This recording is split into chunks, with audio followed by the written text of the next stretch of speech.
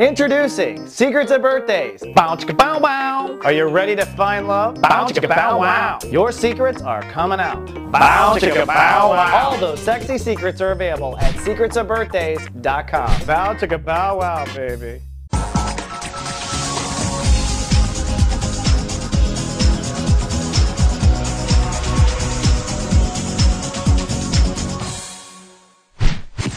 Hello, my producers, and welcome to Friday. It's finally Friday. Well, cloudy private chance of Rendy through the weekend for the Tauruses. It actually starts off as vulnerability.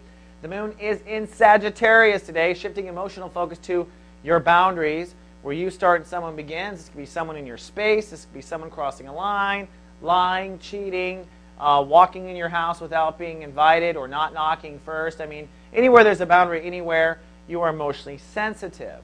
But today's spiritual lesson actually deals with your career. We're in chapter 1 of Sun in Aquarius. Saturn rules the day today, and that is the decision vibration of the universe, decision engine. Time for Taurus is to decide what they don't want in their career, what's not going to work, the direction they're not going to go. This is probably not a big surprise, but at this point you're clear on it. And according to the stars, once you decide what you don't want to do with your career, you're going to feel a lot safer and ready for more intimacy. It was the threat of what you don't want that kept you from opening up. Opening up to a job opportunity, opening up to an aspect of your career, even opening up to uh, a man or a woman, if whatever it is deals with sexual intimacy. Then tomorrow, it is Love Fest Day. The moon will cross over Venus, and that's the big booster shot of love. Everyone at Soulgarden is going to be saying to everyone they love that they love them.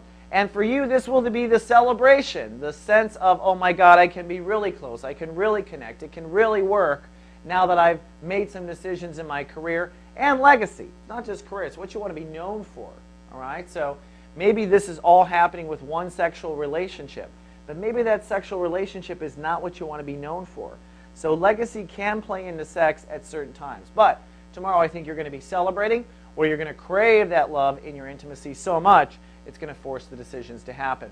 And it's Friday. We've got an episode of Astro Gossip with DJ David Palmer and myself going live today. We've got a lot of topics this week to talk about, including the State of the Union address with President Leo Obama and anything else that's happened and what the stars have to say about it. Don't miss David and I. We're a lot of fun, and we are live everywhere Soulgarden streams.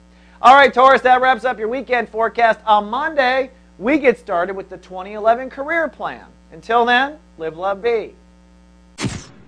So God.